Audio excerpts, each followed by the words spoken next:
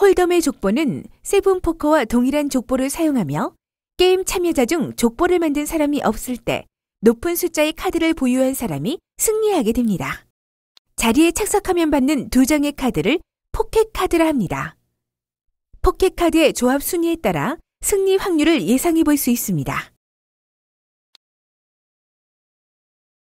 그럼 이제 게임을 한 판 해보겠습니다.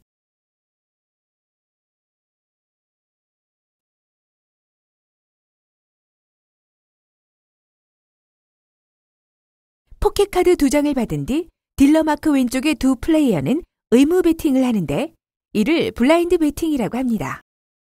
딜러 마크 왼쪽 첫 번째 플레이어의 베팅을 small blind, 두 번째 플레이어의 베팅을 big blind라고 합니다.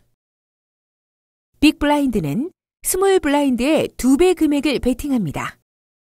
big blind 다음 차례부터 베팅을 선택하게 되는데 콜은 이전 사람이 베팅한 만큼 베팅하는 것입니다. 콜을 해보도록 하겠습니다.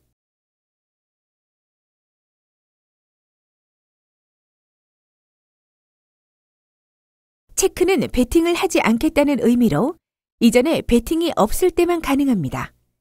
체크를 해보도록 하겠습니다.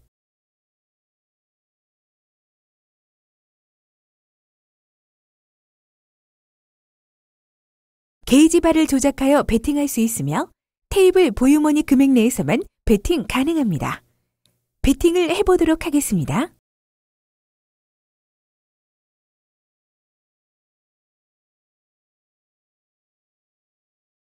올인 버튼을 누르면 보유 중인 테이블 money를 모두 베팅할 수 있습니다. 올인을 해보도록 하겠습니다.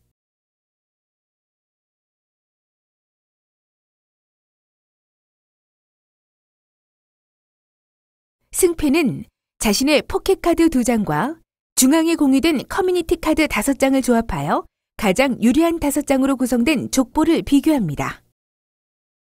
현재 화면에서는 포켓 AA와 커뮤니티 카드 중 KK10을 조합하여 AK2 페어로 승리하였습니다.